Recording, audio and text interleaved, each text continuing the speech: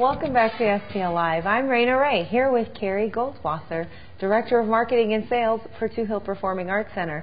I know that's your job, but it's almost like you don't have to do any, you really don't have to sell anything. It kind of sells itself. It's so, I mean, listen, when I tell people that um, Brad Sherwood and Colin Mochrie from Whose Line Is It Anyway are coming to the Touhill, and they're going to be on stage with mousetraps, and the guys are going to be blindfolded, and they have to walk toward each other. I mean, it's hilarious. What what else do I need to tell you? It's so funny. We're looking forward to um, their show. It's called Colin and Brad Two Man Group. Hilarious. Not blue, two. Two. Two man group. so funny. Um, but you know, then we also have some. Um, I mean, it's hilarious.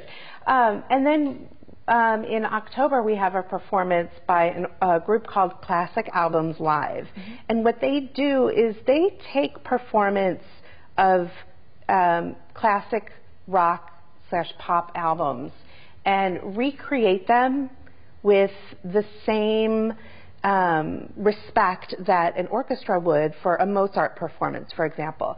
So they build this group every time for the specific um, album that they're going to perform.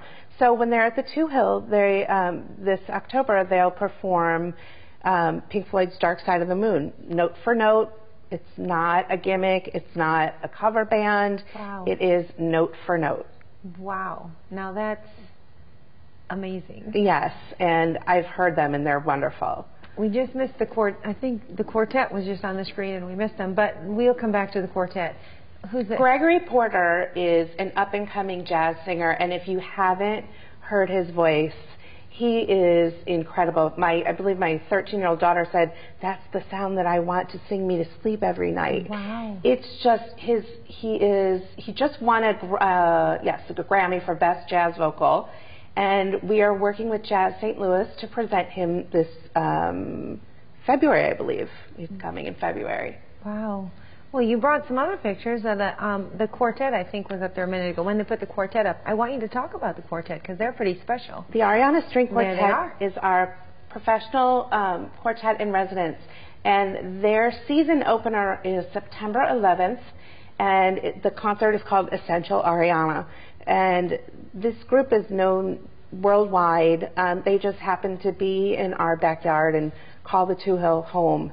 Um, they have a recording contract. They record all of their albums um, at the Touhill, and they are incredibly gifted professional musicians, also wonderful personalities, and they stay after the show um, at a reception and speak with anybody who wants to come up and talk to them afterwards and ask them about what they just heard. Wow. I think we have a list of your upcoming events. If they yes. put it up on the screen for us, we can talk about that. But you know, ticket prices aren't bad over there either. You would think that you would pay more for the amazing entertainment that you get at Two Hill. We really work very hard to be affordable. Um, and so for something like, you know, a living legend like the Stanley Clarke Band, Stanley Clarke is, you know, he's he's revolutionized bass playing, and um, we just, you know, for him to be there on November um, 21st and